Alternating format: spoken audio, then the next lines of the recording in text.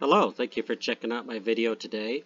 In today's video, I'm going to deviate a little bit from um, hardware and do a little bit of software, which is kind of the whole point of having this uh, project to begin with, is to write some low-level code and run it on actual hardware from the 1980s. So I'm going to do this in DOSBox, um, mainly so I can get the screen capture and have a nice clean image for this but you can do this all on my regular uh, Homebrew 8088.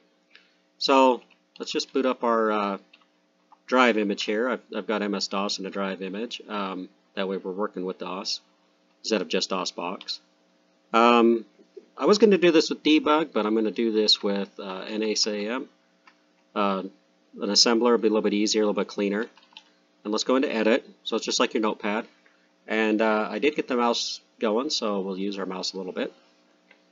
And I like to do this all in all caps. Some people don't like to do assembly in all caps, but we'll uh, tell it that the CPU is going to be an 8086, and that way uh, when it compiles, it compiles for 8086 and nothing else. And I'm going to do the hello world, um, like most people do, and I'm going to do this is one of the simplest ways possible. Um, maybe if I do this video too long, I might try a couple different ways. But uh, what we'll do is we'll we need to set our data segment to the uh, video address. So we do that by setting our AX register and then copying that over to the data segment and then make sure our BX register is 0 and you, you could do this other ways, uh, XOR or whatever people do or to make it 0 but this is fine. And then, simple enough, we just go move to, uh, we want to do our byte. Now, in the video uh, on the screen, every other byte is a character, and the other byte is the color codes for foreground and background. And so we just want to edit the, uh, the character for now. So we'll go BX and actually, um, if you want to do this even simpler, you could just put a, a number in here. And uh, maybe I'll do that. Let's do it that way. So we'll just go 0, 0, 0, 0. And we can actually take this one line out. We're going to try to... Now, this way may take a few more bytes, but the code is even simpler. So, And then we'll just do H. And the assembler will convert that to the ASCII character code, or uh, code for H. And then... Uh, because we're not using BX, we don't need to add. Let's say I'll copy, control insert. Uh, not like using Notepad, but it'll work. Paste. Grab a couple more. Copy.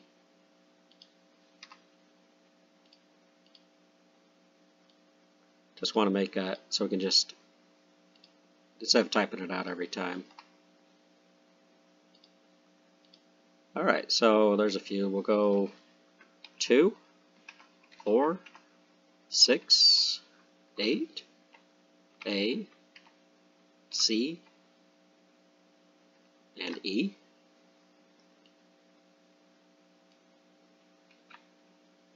Hit Control C by habit. Uh, what we'll do is we'll just copy. This should be enough lines. And back to 0, so 1.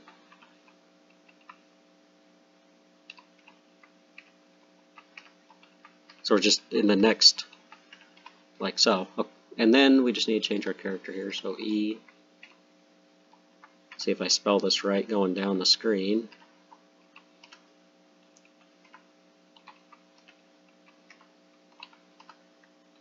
Got a few extras, so we'll just do a explanation mark like some people do.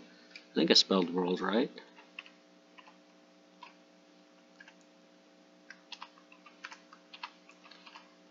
There you go. Uh, let's put a space. So what this will do is it'll print hello world in the top left corner of the screen. And return for the end of our program. I think you can do an interrupt uh, 21, I think it is, to terminate the program. I've always done return, but there might be a proper, more proper way to do it. But anyway, we'll save this as Let's call it hello.asm. That way I know it's an assembly file. Exit. And then compile it. Um, I don't think the file name is case sensitive, but your operators or your are. So like we want to put an output, so if you do a capital O there, it won't like that at all.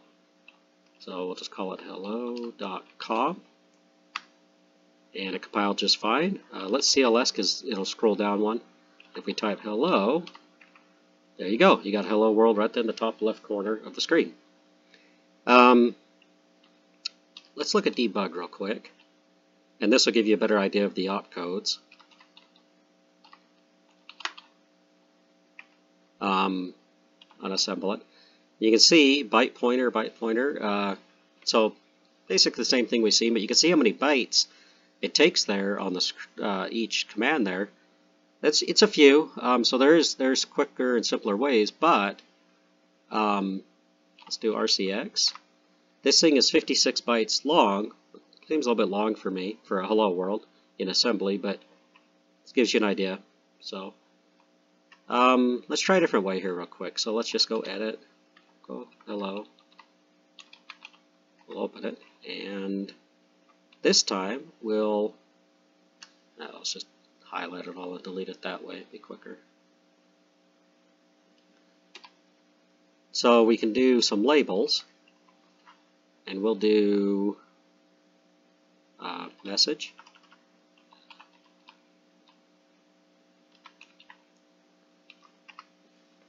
And here we'll put in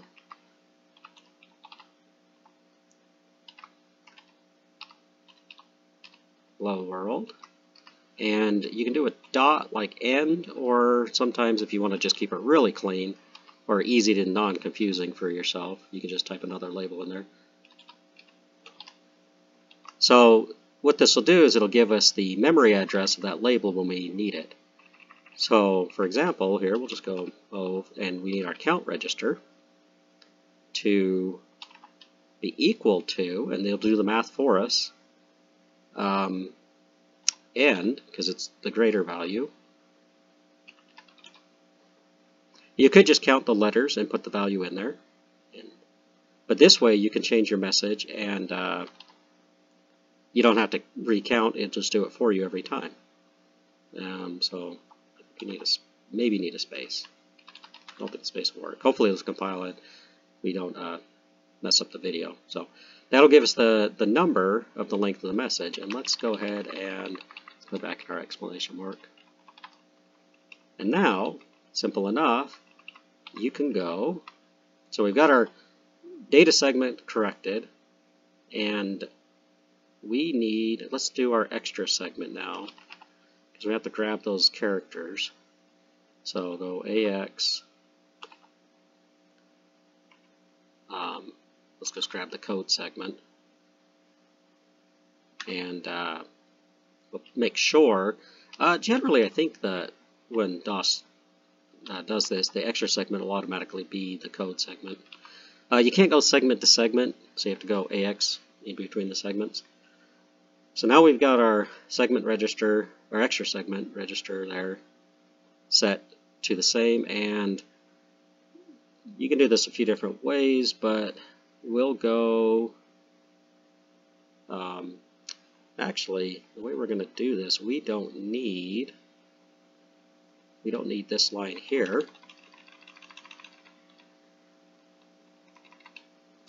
Because, and so we could use our data segment, let's do that.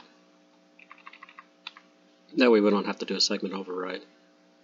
Um, and we're going to do, we're going to grab, uh, we're going to make AH E and we want a low, we're, we're going to put in some other lines, but we're going to call it bx, and we will make bx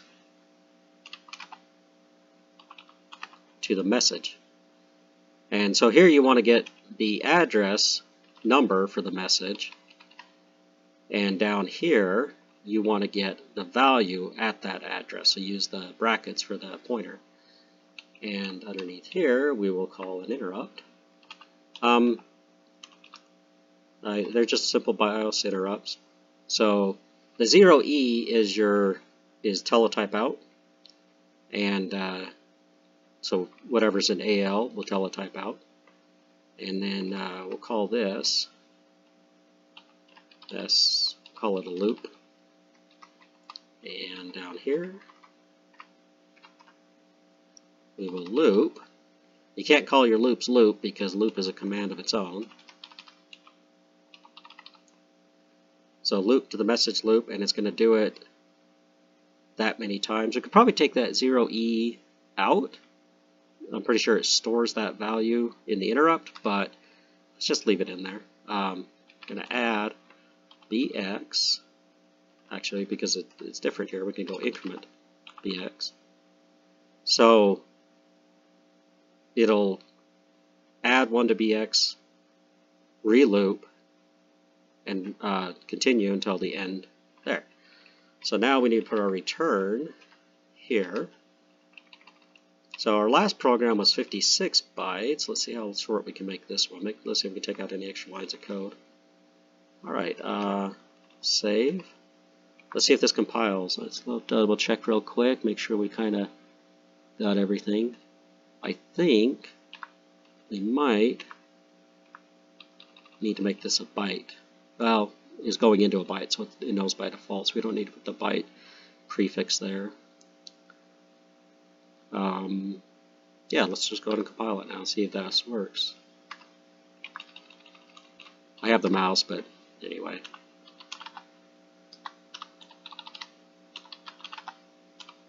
Let's go out, hello, worked.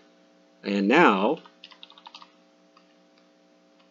so that didn't work, but you can see it printed a string of characters right there. Um, but it's after the uh, command prompt there, so we don't have it in the top corner of the screen anymore. So let's let's see if we can figure out what went wrong.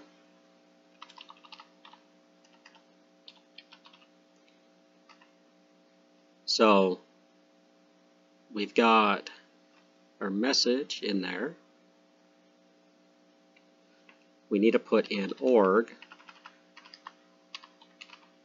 100 because this doesn't know that com file started at 100. The assembler doesn't know that. So it probably started at 0. Let, us give that a try. I'm pretty sure that's the issue. Let's just exit, it'll save, and then NASM hello. It's just capital because I forgot to take caps off. But that, that O's got to be lowercase no matter what you do, or it, it doesn't do your output right. Alright, and we'll do hello. There you go, hello world. So that org is important, so um, let's just go back to the code, review it, and we'll uh, clean our in the video. So hello dot oh let's uh, let's do debug hello.com and let's do RCX.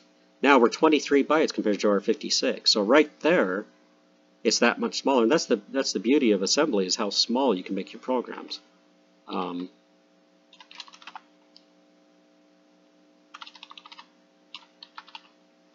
so this is a pretty simple program for putting a message. Um, so CPU 8086, you could probably leave that off because everything in here is 16-bit code. But that kind of guarantees, I think it'll give you an assembler error if you put in some 32-bit code. Org is 100 for your COM file, and then CX is how many times you want to loop. Um, grab the code segment, make sure it's the data segment. Uh, that's probably by default the data segment, so that line could maybe be gone. But the one thing I've learned with assembly is never assume the value of any register unless you, you've set it yourself. Um, we could probably move this AH up here, which would give you a little bit faster processing time, but we're already really fast. Um, so loop here and then return and you're good to go. The only thing you could do differently is um, you could maybe uh, store your registers for your loop to make your loop cleaner. Uh, but that's only like if you're working on as functions. It's good that when you have a function, uh, a label that, that becomes a function that uh, you store your register values and restore them when it returns so that you never have that issue of, values being off. But that, that's a whole other subject. So anyway, uh, thanks for uh, watching the video to the end, if you made it this far. Uh, please uh, like, subscribe to the channel. Uh, it definitely helps with YouTube. Um, catch you on the next video. Thanks.